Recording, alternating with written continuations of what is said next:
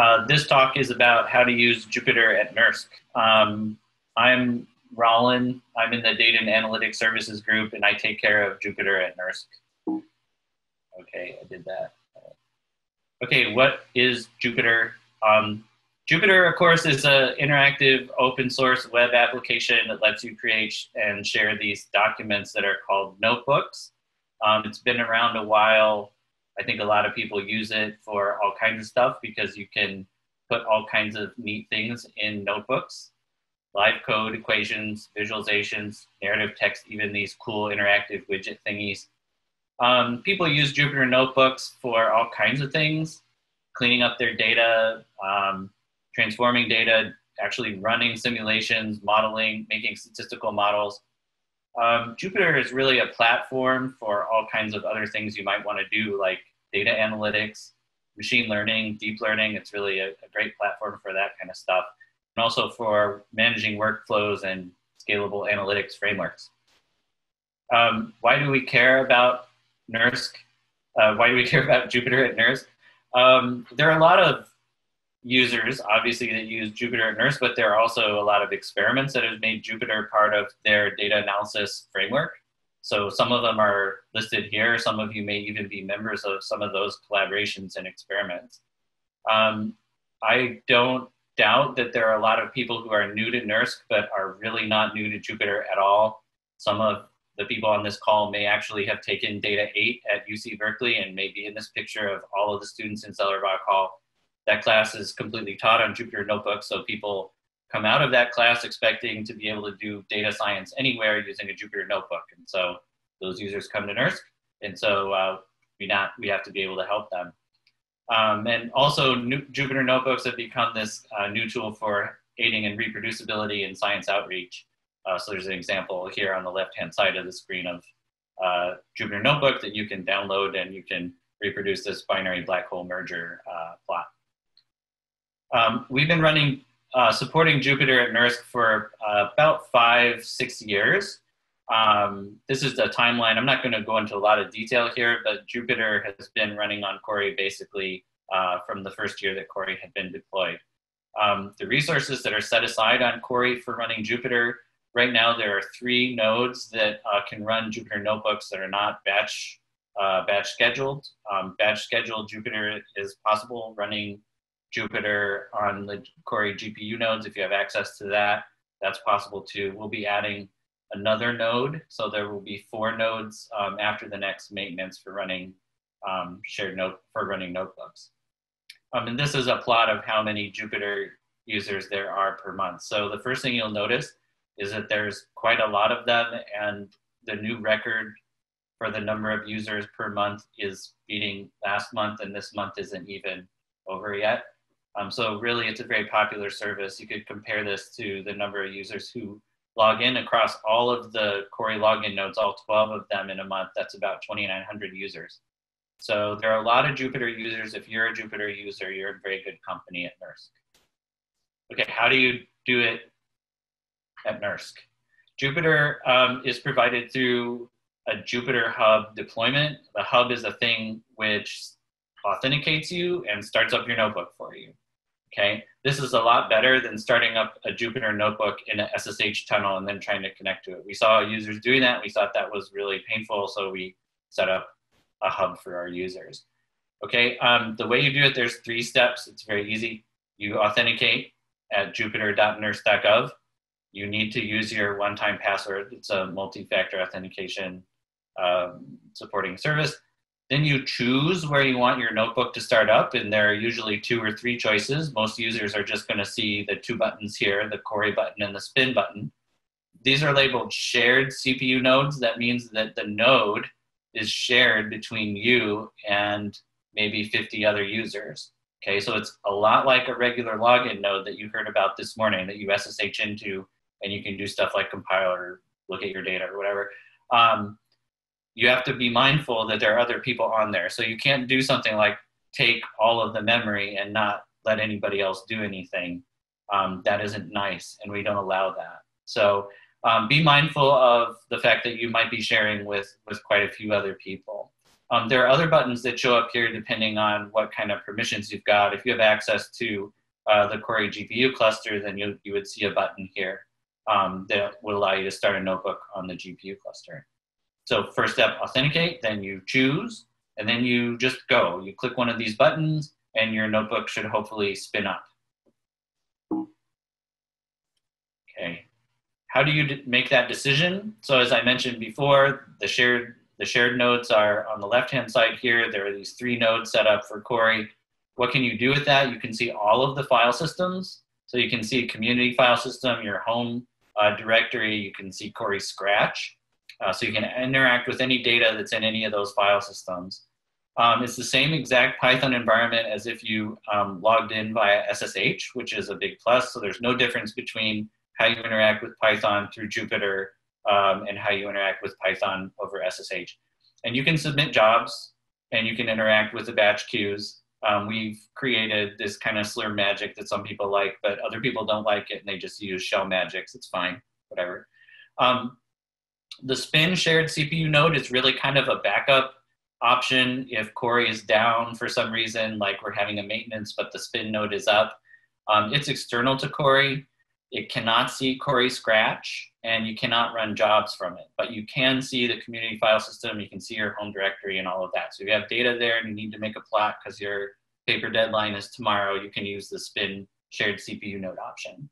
And as I mentioned, the GPU node, um, if you click that button, if you can see it, not everybody can see it, it launches a notebook for you. It runs in batch, but it doesn't get charged, but you can only run for up to four hours. It'll turn off.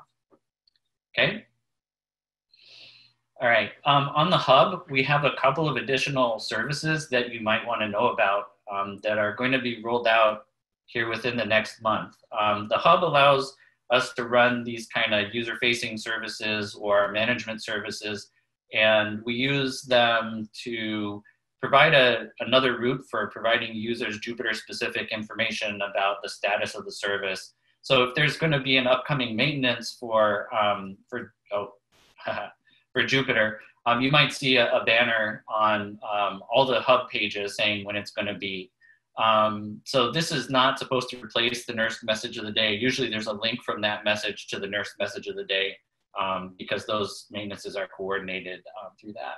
But this might be um, something that you see and, it, and hopefully it'll be useful to you.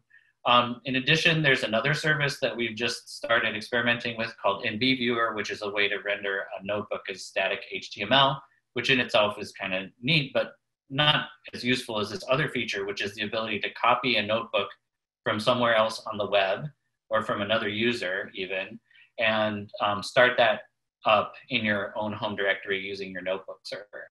So this is a way where you could say, pick up a canned notebook that somebody else has already written and copy it over along with its kernel, and then start it up and, um, and customize it uh, to do whatever you need to do with it. So if you log into jupyter.nersc.gov today, you won't see this little drop down here with these two service links, but after we do the upgrade, which is going to be coming in the next month, you'll see those services um, there.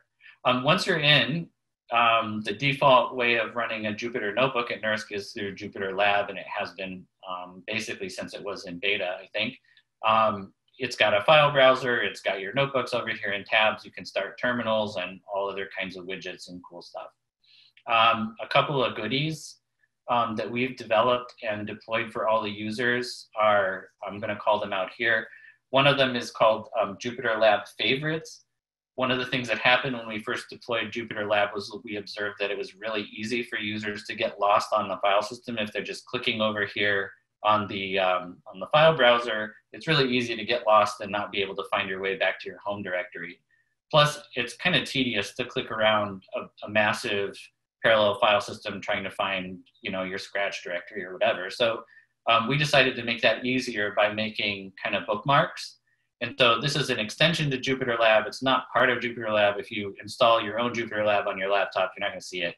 Um, but we we we precede it with um, these two directories because most users need access to those. Um, so play with that. It's pretty neat. It'll save a lot of time and clicking. Um, a couple other things is this open from path thing. We, we made it so that you could hop to any place on the file system that's handy in tandem with the favorites uh, tool. And also recents, a list of uh, recently accessed files and paths is, is located in the file, file menu as well. All right, so if you use Jupyter, you're, you might be aware that the way that you actually run code is through a thing called a kernel. So here's you, you're happy, here's your browser, and then over here is the notebook server. So for instance, in our case, I would be running on Cori, on Cori 19 or Cori 13 or something. And there's another process that you spin up. Basically, every tab that you start up is another process, and that's called a kernel in Jupyter parlance. And you talk to it through 0MQ. All right, so how you configure this kernel basically tells you what you can do in a Jupyter notebook. It's basically just a Python process or a Julia process or an R process or something that you send commands to and it sends the output back. All right. The number one question we get about um, Jupyter at NERSC, for the most part, is how do I take a conda environment? So what uh, one of the things that uh, Lori just talked about in the previous talk was conda environments. How do I take my conda environment that I've made and just use that from Jupyter? So there's a few different ways to accomplish that. The one that I like the best is shown here. So you create your conda environment, you put it whatever it is you need it, and then you add this additional package called ipykernel. Okay, once that's all installed, then you run this command here, and that will create a kernel spec, which is a special JSON file that gets dropped in a kind of secret place in your home directory. And your conda environment will show up basically in the list of kernels that are available on jupyter.nersc.gov. You'll probably need to restart your notebook server if you do this while your notebook server is running. This is what one of the kernel spec files look like. I said it was in like a kind of secret place. It's not that secret. It's your home directory dot local share Jupyter kernels, and then the name of the kernel that you gave it at that ipykernel um, install line, and then kernel.json. It's always named that. And all it is is really just what command line arguments do you need to start up ipy IPython, basically. Okay, so this is just a template for how you do that. Now, um, why do you need to know this? Because you probably want to customize it further. If you have other executables that you want to be able to run while you're running your kernel, you need to put those in a path. Or if there's uh, some dynamically linked application that you need to include, you need to extend the LD library path. You can do that through this env part of the kernel spec.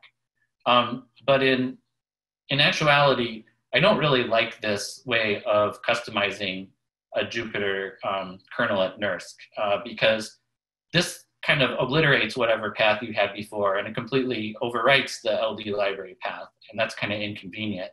A better option is for you to just say, hey, I'm going to, um, instead of running Python, which is what this first argv argument is, I'm going to run some other bash script. And you can put whatever you want in there, but the very last thing needs to be exec python dash m ipykernel. So that's basically whatever you were running before, right? So python dash m ipykernel, f connection file, whatever. It's basically the same stuff gets passed in here. And what this lets you do is you can load whatever other module you want to load. A lot of people, this is a common one because people like to make LaTeX labels on matplotlib plots, I don't know, go figure. Um, or you could set some environment variable or whatever. I think this is really the most flexible approach um, because of the module thing and, and because of uh, environment variables. But really, don't forget this exec part. The exec part is very important. All right. Another cool thing you can do is you can actually put a, a, a Python environment inside of a um, inside of a Docker container and run that as a kernel. And um, I think Shifter is going to be covered later, um, but this is how you would take one of those Docker containers and run it as a, as a Python kernel. So if you have a Docker container where you have all your stuff already set up and you don't want to mess around with a con environment for whatever reason at NERSC, then cool. This is really handy if you've got like a collaboration and everybody agrees they're going to use this Docker container for all their Python stuff, say but it's really basically just whatever command it is you would run on the command line, you stick it in there, right? Um, what do you do when things go bad with Jupyter? Sometimes problems happen. Um, I would say the number one problem we get with, with Jupyter users is they fill their home directory up and then they can't run Jupyter. And what will happen is you'll see that your notebook fails to start up and you'll get like a little message 507, which in HTTP means you're out of space. Um, and you just need to go back and move some data out of your home directory and then you can run Jupyter again.